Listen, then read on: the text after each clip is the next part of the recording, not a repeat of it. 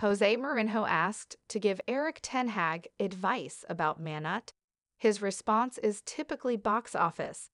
United announced Ajax coach Ten Hag will take over at the end of this season, and he's got a big job on his hands.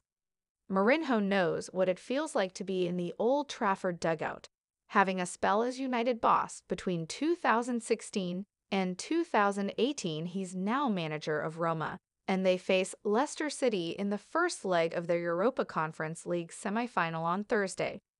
It'll come as no surprise that he wasn't interested in Ten Hag taking over his former side. A reporter used the phrase former club, and the 59 year old picked up on that replying while wagging his